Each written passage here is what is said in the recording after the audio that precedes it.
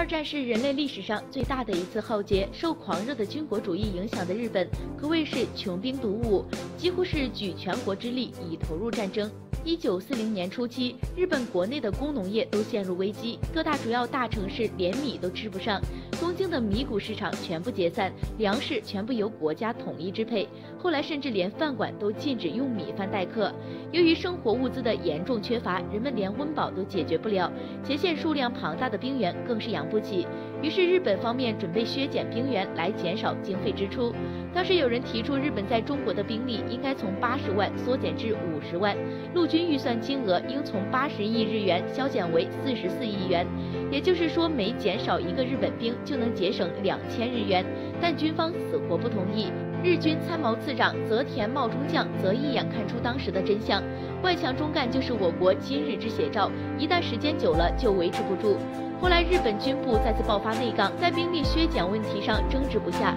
从一九四零年开始，日本官方决定不再给在华日军拨发经费，让他们就地等错，意思就是直接去抢，以战养战。据当时的《晋察冀日报》报道，在我国将士穿棉衣都觉得冷的冬季，日军只能穿单衣吃杂米饭。就算是抢来了南瓜和山药，也是几人一小碟，食不果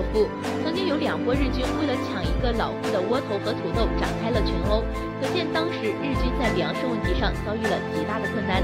德国著名军事家克劳塞维茨曾说过：“战斗力系于位，温饱问题解决不了，怎么可能有力气打仗呢？”而这一切也是日本咎由自取，掏空一切用于战争，最终出现这样的结局。